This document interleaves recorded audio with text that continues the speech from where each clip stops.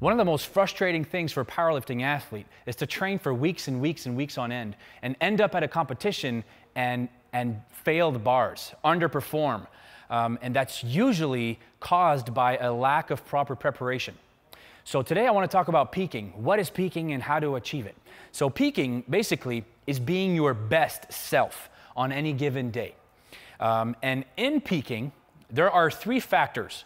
There's fatigue, now, fatigue is an energy debt created by training volume. So, if you train hard, if you train a lot, if you do a lot of sets, a lot of reps, if you've been doing that for a long time, you create, you increase your fatigue level. So, you're sore, you're exhausted, uh, you might even not sleep as well. So, the second factor is fitness.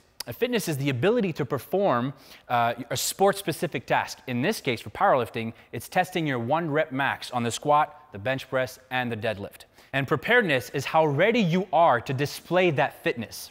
Now, when looking at these three factors, it's important to notice that the, uh, the more fatigue that you create, the more volume, the, training volume that you have under you, uh, the more your preparedness drops, okay? If you're tired, if you're sore, you can't display your fitness well, not optimally whatsoever.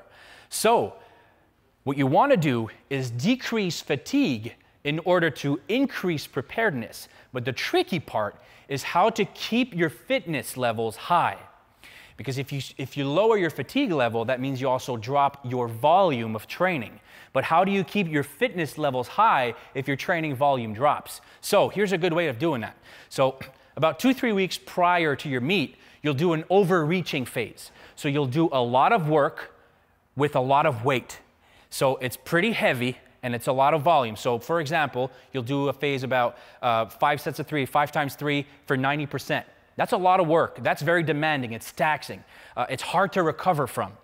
Once you've done that overreaching phase, and by the way, overreaching phase, there's a fine line between overreaching and overtraining. You never want to fall in the overtraining uh, zone, uh, but there is a fine line between both. So, um, the better the athlete, the more experience the athlete has, the more he'll know his body and the more he'll be able to tell the difference between both. But it is a tricky game to play. Now, but that's where a good coach comes in handy. So, once you've done your overreaching phase, you're really tired. What you need to do now is yeah, you actually deserve and you earned a deload phase. So, what you do the week after is you drop your volume by about 50%. So now you're doing two times two, but you're keeping your intensity high. You can actually still increase your intensity and get those numbers even higher. So that way, you're still keeping your fitness levels high, but you're dropping fatigue because your volume is decreased. Therefore, your preparedness increases and gets you ready for meet day. The, the week of the meet, what you want to do is you want to do a deload phase. That's where you let your body recover fully. Uh, some people like to take a full week off. I don't do that. I don't like to do that just because um, I, I, like to feel confident at a meet. And I feel, um, for most people, in my case, uh, my experience as a coach uh, and as an athlete, um, I, I, lose some of that edge. I lose some of that. Um, uh, confidence in holding a bar in my hands, holding that bar on my back, um, so I like to still use uh, very lightweight, but I still like to lift a little bit of weight in that, in that week just to keep me um, uh, ready for meet day. So what that does here, uh, because you're deloading, now what you do is you're recovering completely from your overreaching phase. So now your levels of fatigue drop considerably, so your preparedness increases by a whole bunch.